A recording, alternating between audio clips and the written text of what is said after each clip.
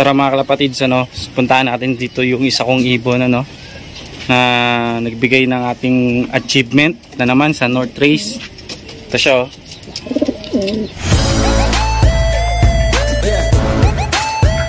Good afternoon mga kalapatids, it's me, Bongoy. In today's video mga kalapatids, ano, uh, papakilala ko sa inyo yung nagbigay na naman ng achievement sa atin ano, sa nakaraang North Derby Race.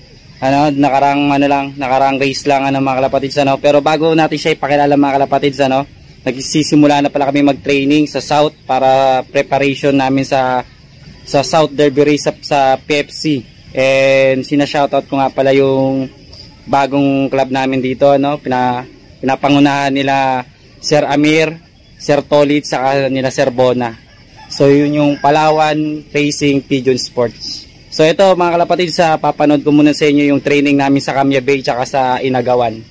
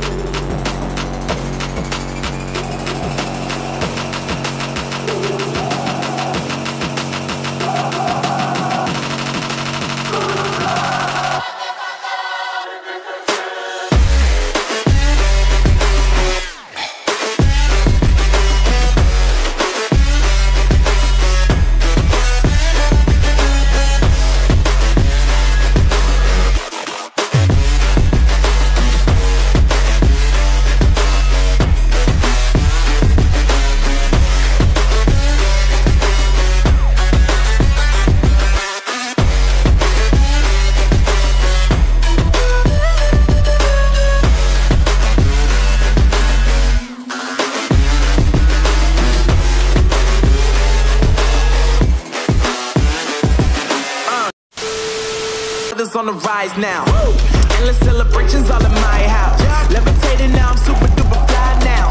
London boy, but DC where I reside now. Put the time in while you always yelling time out. And for critic, cause I know I'm coming with it. You were sitting, you were wishing I was handling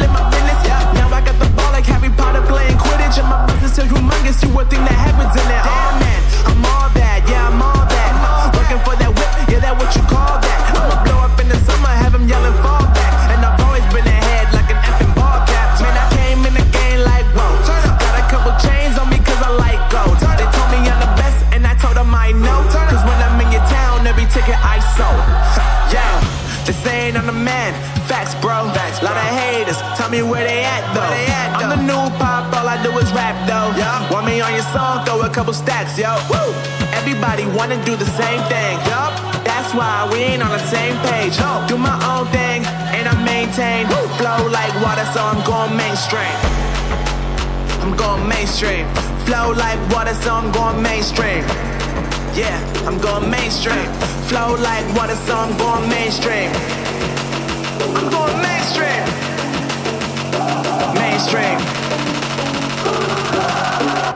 Like water, so I'm going mainstream. Yeah.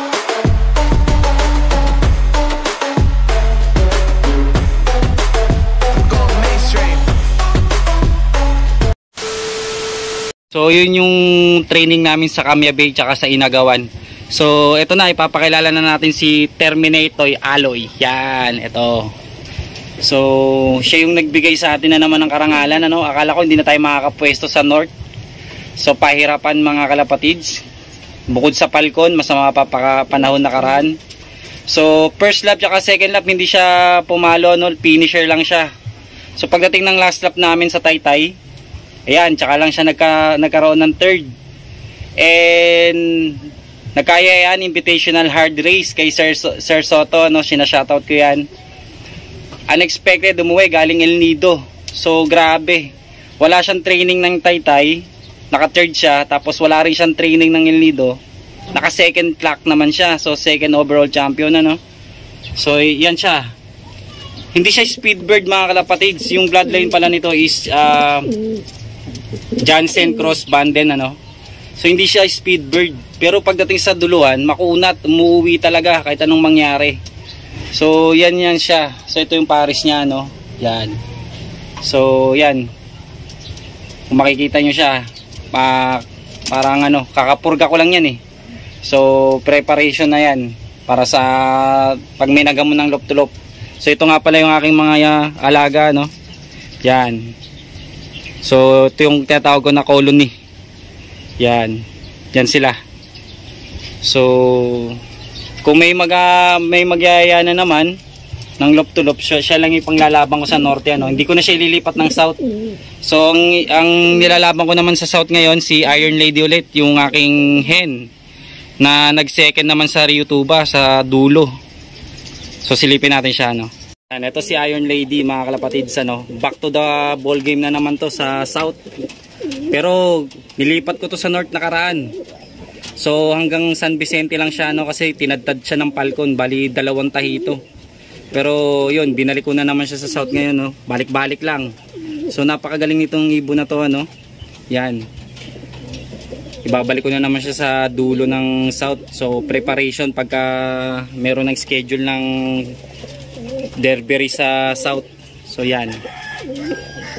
Si Iron Lady. So thank you for watching my video mga kalapatids and don't forget to subscribe. Yeah, pakipindot lang po and click the notification bell. And sinashoutout ko nga itong katabi ko ano, yung aming Lopman.